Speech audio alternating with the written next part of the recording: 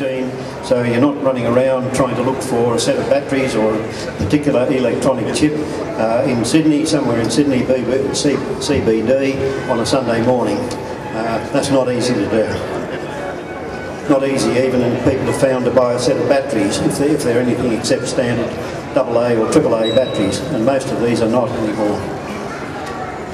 Yes, I've been told in their preparation they've done something like 2,600 runs, so that degree of uh, testing is likely to uh, produce a high degree of reliability. Or else a failure at the last run. Well said. And we have, we have unfortunately seen that happen. Tested, tested, tested. Get through the first run perfectly okay, and the last run, the very last time that device will ever be needed for any purpose at all. And suddenly you break a shaft or break a gear or something, the wire falls off or something breaks. Ah, the joys of engineering. Okay, the tension, I, you, you, people may not be quite aware, but the tension is mounting because we are getting down to the end. I think we have one after this, am I correct? This is it, this is the last one. Oh yes, okay.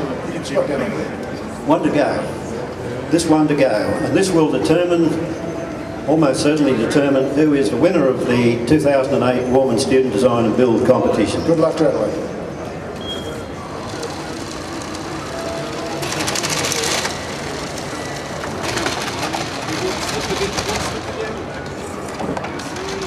Very good. But wait, there's more to come. Yes, it's not finished yet.